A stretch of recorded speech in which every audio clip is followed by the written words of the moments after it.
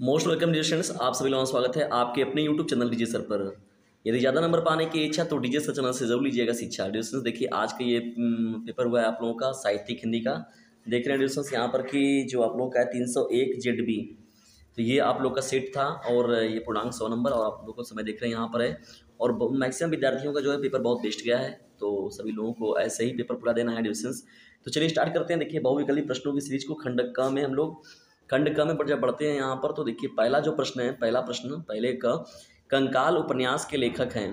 कंकाल उपन्यास के लेखक कौन है? जयशंकर प्रसाद, जैनेन्द्र कुमार प्रेमचंद्र बालकृष्ण भट्ट। तो इसमें देखिए, कंकाल जो उपन्यास, बहुत ही फ़ेमस उपन्यास है, ये जयशंकर प्रसाद जी का है। तो क का जो विकल्प नंबर पहला होगा, वो करेक्ट हो जाएगा।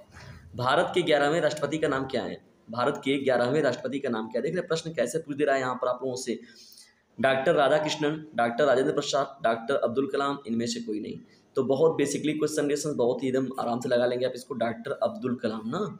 अब्दुल पाकिर जैनुलाब्दीन जिसे डॉक्टर अब्दुल कलाम जी का बात हो रहा है।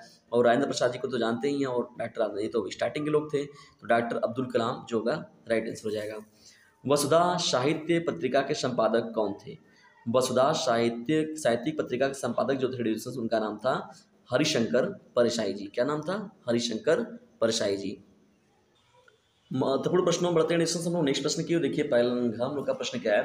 पंडित दीनदयाल के पिता कौन थे? किसान, लिपिक हेड मास्टर स्टेशन मास्टर।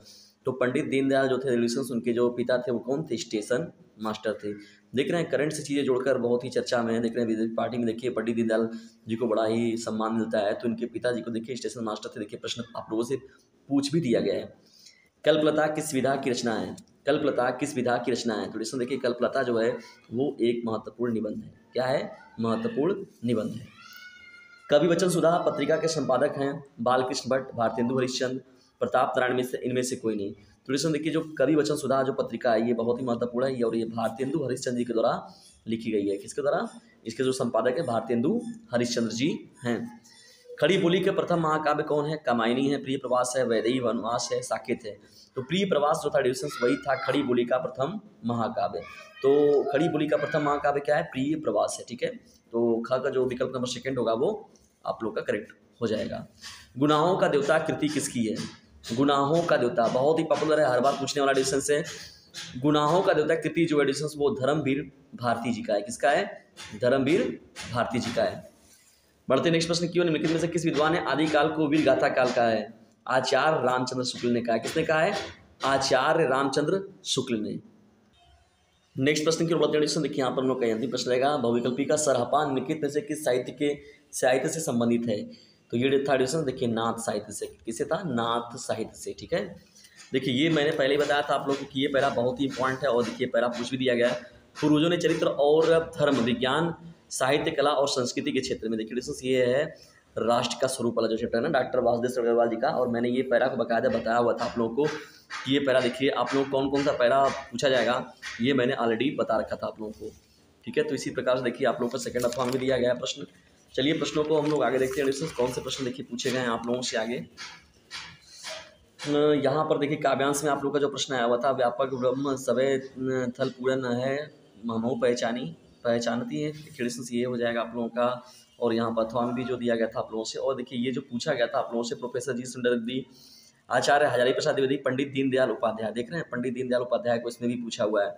तो कहने का मतलब क्या है एडिशंस की जिसकी लाठी, उसकी बैच तो इस तरीके से भी ये पेपर बनाया गया आप लोगों का। जगन्नाथ दास रत्नाकर, जयशंकर प्रसाद सुमित्रा नंद पंत। तो इसमें देखिए तीनों में से आप लोग किसी एक का लिखना था, कवि परिचय ना? तो इस तरीके से आप लोगों ने इसमें बेहतर लिखा होगा अपना। देखिए, पंचलाइट और कर्मना, कर्मनाशा की हार और बहादुर कहानी के प्रमुख चात्र प्रमुख चरित्र यानी बहादुर का चित्रण हो गया, पंचलाइट हो गया। इन दोनों कहानियों को बहुत ही अच्छे से समझाया गया था आप लोगों को। स्वपटी देखिए, रश्मि रथी के बारे में बात हो गया कड़ का चित्रण हो गया तो ये डिस्टेंस मैंने बहुत अच्छे से बता रखा है आप लोगों के लिए। और ये सब का सब जो है, उसी बेस पर आधारित था आप लोगों का पेपर ना? पूरा पूरा अपने ज़िले वाइज जो चित्र लिखना था, जो भी खंड का ज़िले के लिए रहेगा। अब देखिए ये जो है, इसको बहुत अच्छे से बताया गया आप लोगों को, ना? देखिए, ये जो है संस्कृत भाषा का महत्व, ना? बोला जी कितना आसान चैप्टर है सीधा सीधा वो। धनुधान ने भारत देश यत्र समुद्र जन पावन, मासनी, भव्य भाद्र शब्द संदोह प्रवीणी सुर भारती भारत देश को, यानी धन्य धान से परिपूर्ण भारत देश को, ये जो है जनमानस को करने वाली शुभारती जो भारतीय है, जो भाषा है, संस्कृत भाषा की बात हो रही है, वांग में, देखिए वांग में सर्वश्रेष्ठ संपन्न इतिमेय भाषा संस्कृत लोके प्रतिता अस्ति। का हमारा महाकाव्य जो है, चारों वेद जो है, सभी उपनिषद जो है, आठों पुराण, अठारह पुराण हो गए, अन्यादि जितने भी जो भी काव्य महाकाव्य है, वो इसी भाषा में लिखे गए हैं, ठीक है?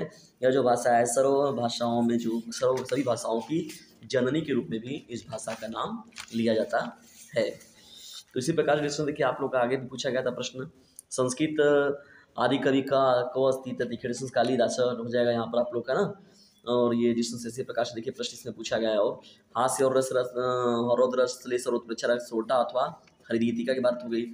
किसी एक पर निबंध लिखना है आप लोग को, भाषा शैली में अपने, देखिए, जनसंख्या, वृद्धि समस्या और समाधान भी कुछ दिन पहले ही मैंने बताया था, इसको बहुत अच्छे से। तो यही आप लोग का काम हो गया। ठीक है एकदम सीधा सीधा था।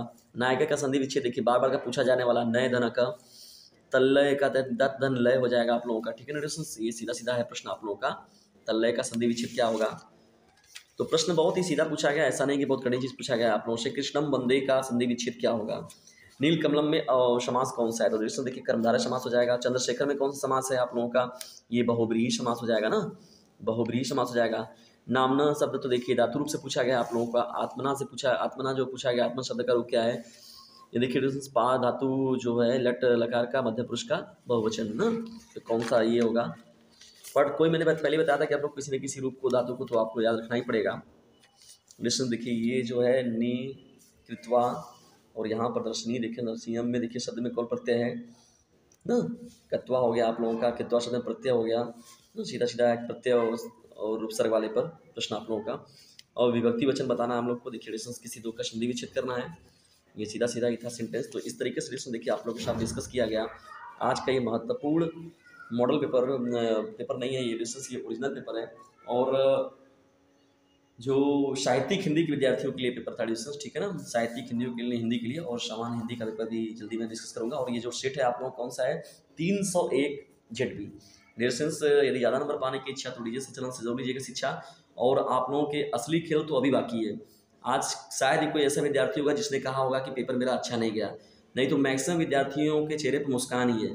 लेकिन अब आने वाले जो पेपर होंगे, उसमें आप लोग की मुस्कान छीन भी सकती है अगर आप लोग सही से स्टडी नहीं करेंगे तो। तो जमकर स्टडी कीजिए इस चैनल के साथ भी, जिसका नाम है डीजे सर। ऑलरेडी देखेंगे, आप लोग प्लेलिस्ट वाइज जाकर देखिए, उसमें बहुत सारे लेक्चर हमारे ऑलरेडी अवेलेबल हैं। देखिए, भूगोल का आप लोगों का होने वाला है, उसके साथ ही साथ जितने भी सब्जेक्ट आप लोग के समक्ष दिखने वाले हैं आप लोगों को, उन सभी के जो है डिस्टेंस मैंने मोस्ट इंपॉर्टेंट प्रश्नों की सीरीज़ को बना के रखा है और निश्चित तौर पर वहाँ से प्रश्न आप लोग को देखने को आपके बॉडी जंक्शन में ज़रूर मिलेंगे। जल्दी मिलते हैं किसी अन्य में, किसी टॉपिक के साथ, तब तक के लिए टेक केयर बाय जय हिंद, जय भारत। से एक काम करिएगा, इसे अपने क्लासमेट पर शेयर ज़रूर कर दीजिएगा। मिलते हैं नेक्स्ट वीडियो में।